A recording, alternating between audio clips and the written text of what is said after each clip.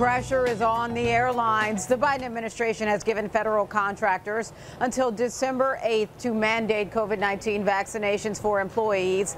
And that includes some airlines because they provide services for the government.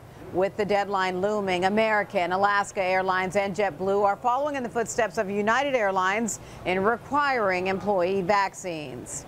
Johnson & Johnson reportedly wants to ask for a booster shot green light this week. According to the New York Times, the drug maker is planning to ask federal regulators to authorize a booster shot of its COVID-19 vaccine.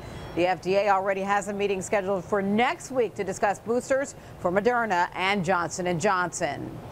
42 million Americans who rely on food stamps are seeing a rise in their benefits. The government says the average recipient of its Supplemental Nutrition Assistance Program will receive an increase of 27 percent.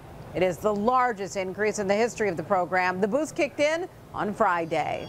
And it is National Taco Day with many local and national chains toasting the tortilla wrapped snack. Taco Bell is offering a free taco with an app purchase. If you prefer a mashup, Del Taco has a free stuffed quesadilla taco. And at Chipotle, chips and guac are on the house for customers who join its rewards program. And that's your CBS Money Watch report. For more, head to CBSMoneyWatch.com. At the New York Stock Exchange, I'm Diane King Hall.